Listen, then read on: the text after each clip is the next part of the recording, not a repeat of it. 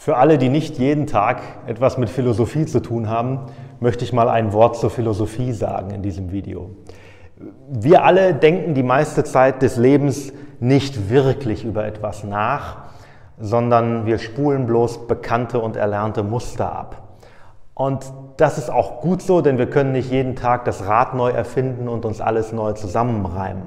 Aber das hat auch seine Gefahr, denn diese Selbstverständlichkeiten, diese Denkgewohnheiten, mit denen wir umgehen jeden Tag, die uns den Alltag strukturieren, die werden mit der Zeit zu unserem Gefängnis.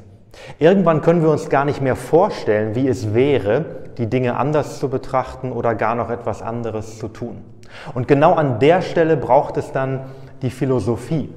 Wer philosophiert, will eigentlich nur wissen, ob die Denkgewohnheiten, die er hat, die Handlungsgewohnheiten, die er hat, gute Gründe für sich haben oder ob sie eben bloße Gewohnheiten sind, die man irgendwann mal so angenommen hat und eben immer weiter betrieben hat.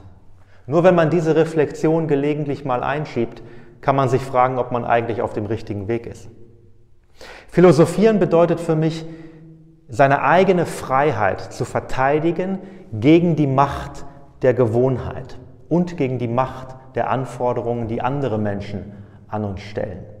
Und in diesem Sinne ist Philosophie überhaupt keine Expertentätigkeit. Das macht jeder, denn es ist eigentlich eine geistige Funktion von jedem Menschen, der sein Leben selbstbestimmt führen will.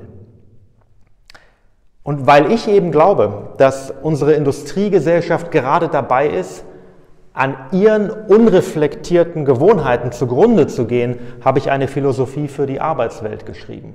Ich spüre in dieser Philosophie den Grundbegriffen und den Mustern nach, nach denen die Industriegesellschaft organisiert ist und nach denen sie uns organisiert und unser Leben strukturieren will.